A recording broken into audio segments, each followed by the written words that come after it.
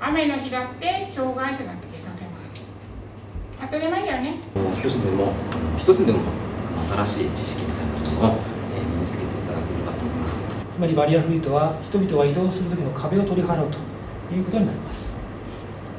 高齢者と障害者等の自立した日常また社会生活を確保することが大切になってきます。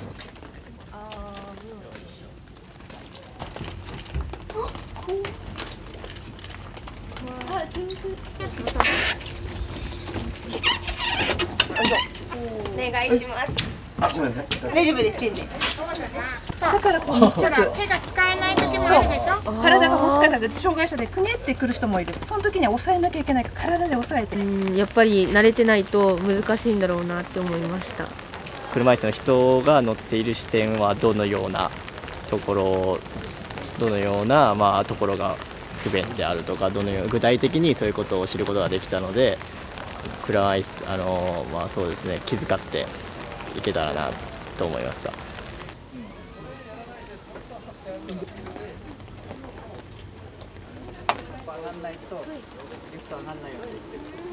車椅子での移動がそもそも大変なのにそういう公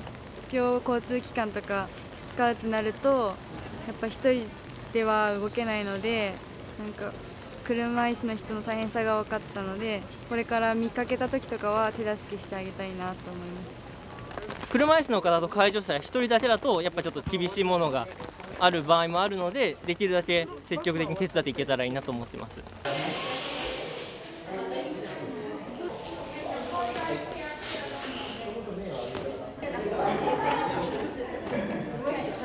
階段上がるのに一歩一歩がすごい重くてすごいこんなに高齢者って動きづらいんだなって思いました。今までは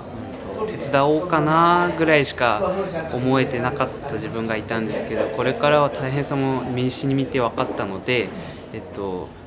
自分からどんどん手伝えていけたらなと思います。学生が本当動けてよかったと思います。これから今日の講義を通して今日の体験を通してこれから社会に出た時社会人になった時も学生のうちでも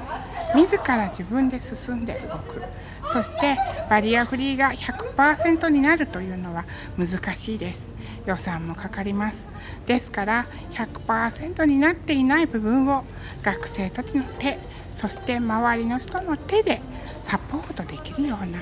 それが100%に向かう心のバリアフリーかなって思います。高齢者も増えましてですね障害者の方もたくさんいらっしゃいまして、えそういった方々はですね、え、普段こう見てる時に普段見る時になかなかこうすぐ手を差し伸べることができないということもあって、まあ、積極的にこういったですね教室の中で、えー、実践をしていることによっていざ、えー、この街中でですね高齢者の方また障害者の方を見た時に、え、積極的になれるんじゃないかというふうに今日学生さんたちを見ていて感じました。